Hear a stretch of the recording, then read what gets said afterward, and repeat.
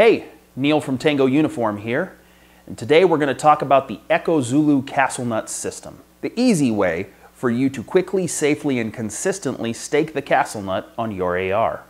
So step one, which we've already done, would be uh, putting our straight wall staking tip in our automatic center punch. If you didn't purchase it already installed, go ahead and get that put together. Step two is going to be putting grease on our components and then beginning to install the components. Now you don't have to go absolutely crazy on the grease. A little bit on the ends of the threads as you assemble it will push that grease down into the remaining threads. The other place where you want to make sure you put a little grease is going to be on the flats between the castle nut and the end plate. Again, we don't want those staking notches to dig or gall on there. We want it to move freely. So uh, buffer retainer in there. I've tightened this until it's retaining it. And then I, I come past right there. So I'm holding my buffer retainer in, grease on my takedown pin detent spring. Slide that guy in there. Razor blade, push that guy in, slide my end plate over, and before I even pull the razor blade out, I'm, I'm able to get that end plate in there.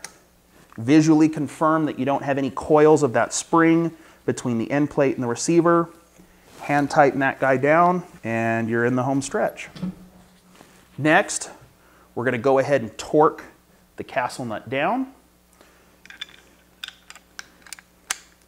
I like to put the flat side of the wrench towards the receiver, slide it on there, make sure that all three teeth are engaged. I like to use my non-dominant hand to pinch this together to make sure it stays in place. There you go. So now that guy's properly torqued on there and we can move on to staking. I would recommend trying to stake them at opposite sides. Uh, if you do them up next to each other, you're kind of pushing the castle nut off on one edge. So put them ideally at three and nine o'clock if we're looking at this like a clock. So the other critical thing is that when you're putting either of the staking guides on, that you fully engage it in the wrench notches and it should come flush with the back of the castle nut. It's important that all of the teeth fully seat in and the way you can tell that is by looking to see that those tabs are flush with the back of the castle nut. Spring-loaded center punch. Slide that guy in there. There's a little bit of wiggle to it. So which direction do I want it to point as I'm staking it for the first time? I want to angle it with the point towards the receiver. I want to have as much material there as I can to deform into the staking notch. So angle this towards the receiver. And there you go. Pull your staking guide off. Take a look at your notches.